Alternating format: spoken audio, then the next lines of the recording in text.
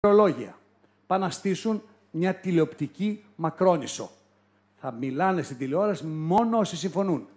Μέσα στις σκέψεις είναι, όμως, για να ξέρετε, μεταγενέστερα, να κλείσουν τα σύνορα Αυστρία, Σουηδία και Γερμανία. Να υψωθεί τείχος, να μην μπουν οι πρόσφυγες. Το τείχος αυτό θα επεκταθεί. Θα μείνουν έξω σιγά σιγά οι χώρες του Νότου, Πορτογαλία, Ισπανία, Γαλλία, Ιταλία και Ελλάδα. Τις καινούριες χώρες πίσω τις έχουν σαν υπηρετικό προσωπικό. Γι' αυτό ετοιμάζονται αυτή η Σλοβακία και αυτή να κάνουν ντου και να κλείσουν τα σύνορα. Και αυτό να το κάνουν γύρω στα τέλη Μαρτίου, αρχές Απριλίου, γιατί τότε προσδιορίζουν να προλάβουν να μην γίνει και η δίκη και εκλογές και πτώσεις της κυβέρνησης και να μην έχει γίνει η δίκη. Η τρικυμία που ζούμε και πραγματική είναι και τεχνητή συνάμα. Αλλά ο καπετάνιος πρέπει να φέρει το καράβι σε ορθή πλεύση ακόμα και στην τεχνική τρικυμία. Και τώρα το σκάφος παραδέρνει. Κινηθείτε με αίσθημα ότι η κοινωνία υποφέρει, δεν υπάρχει αριστερός έμφυα. Θα διαλυθούμε με τους φόρους και εμένα δεν με ενδιαφέρει αν σε αυτούς που φωνάζουν το λέω στους δρόμους είναι ακροδεξιοί και εγκάθετοι. Δεν μιλάω για την εγκληματική οργάνωση που σκότωσε τον Παύλο Φίσα. Μιλάω για αυτούς που πιστεύουν αυτά που ακούν και το καταλαβαίνω πολλές φορές ότι οι άνθρωποι αυτό νιώθουν. Εμένα με ενδιαφέρει όλοι αυτοί οι άνθρωποι που βλέπω να έχουν δουλειά να μην σαπίζουν τα παιδιά στα καφενεία που έχουν βυθιστεί. Δεν με ενδιαφέρει τίποτα άλλο. Με ενδιαφέρει να χαμογελάει αυτός που διαφωνώ πολιτικά. Δεν με ενδιαφέρει καθόλου. Μπορώ να συζητήσω τα πάντα με τον οποιοδήποτε. Δεν θέλω όμως να μην έχουν δουλειά. Γιατί αυτό μας έχει βυθίσει. Και εμείς ε, να έχουμε το αίσθημα ότι η δραχμή και το, ή το ευρώ έχει τεθεί ήδη από το Σόιμπλε. Και η χώρα πρέπει να έχει ένα σχέδιο. Τι θα κάνει, αν ο Σόιμπλε φτάσει αυτό που επιθυμεί. Κανείς δεν θέλει να τρακάρει στον δρόμο, αλλά όλοι έχουμε ασφαλισμένο το αυτοκίνητο στην περίπτωση που τρακάρουμε. Είναι δυνατόν να μην έχει η χώρα εθνικό σχέδιο, εθνική στρατηγική, τι θα συμβεί σε οποιαδήποτε απευκταία περίπτωση. Θέλαμε την παραμονή της χώρας μας στο ευρώ. Αλλά ο Σόιμπλε θέλει να διαιρέσει την Ευρώπη. Θέλει να κάνουμε εμείς την αρχή. Θέλει η Ευρώπη δύο ταχυτήτων, θέλει χώρες με υποτιμημένο νόμισμα του ευρώ. Θα βάλει υποψηφιότητας ω νέος Χίτλερ της ιστορίας. Λοιπόν, στα στρατόπεδα τότε να σας το πω και αυτό. Αφού τους εξαντλούσαν, θυμάστε την ιστορία, όπως εξαντλούν και εμάς τώρα, την τελευταία περίοδο τους δίνανε και νερό για να είναι στεχνοί πριν τους οδηγήσουν στους φούρνου. Θέλω να σας πω και το έχω διασταυρίσει από δύο πηγές, που δεν επειδή έχω αμφισβήτηση και από το εξωτερικό εννοώ.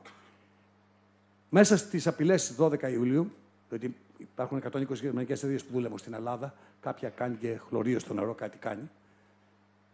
Είχαν βρει τέλο πάντων τις άκρε και τους είπαν ότι αν δεν υπογράψετε, δεν θα έχετε νερό. Θα διψάσετε.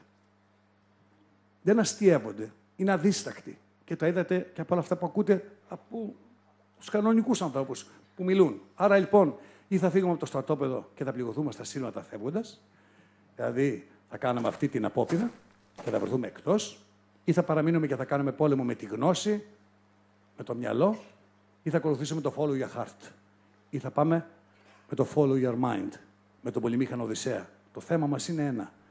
Να επιστρέψουμε στην Ιθάκη. Γιατί μας έχουν πάρει την Ιθάκη και την πατάνε κάθε μέρα. Τρεις δρόμοι υπάρχουν, κυρία μου, απλά τα πράγματα. Ρήξη και πορεία προς την έξοδο. Δεύτερος δρόμος, ακολουθούμε τις εντολέ που λένε συμφωνία με το ζόρι και προσπαθούμε να σώσουμε τα άσωστα. Και τρίτος δρόμος, ο δρόμος της κορνίζας. Την ιστορία μου την είπε ένας παππούς από τον Τύραβο, 90 χρονών. Είχα κατέβει στη Λάση για το μνημόσυνο της μητέρας μου. Είναι σήμερα η μέρα που την αποχαιρέτησα, ένα χρόνο πριν ακριβώς. Μίλησαμε στη Λάρισα και με, για την πολιτιστική πρωτεύουσα εκεί και για τη δύναμη του αρχαίου θεάτρου και είχα έτσι τη χαρά να... Με πιάνει λοιπόν ένας παππούς και μου λέει, θα σου πω μου λέει, μια ιστορία, παιδί μου, λέει, κράτα την. Αφού πέρασα, μου λέει, εγώ παλιά, εμφύλιους, πολέμους, εξορίες, αριστερός, μου λέει, από κούνια βλέπεις, είχα κοτόπουλα και ήθελα να ανοίξω ένα κρεοπολείο.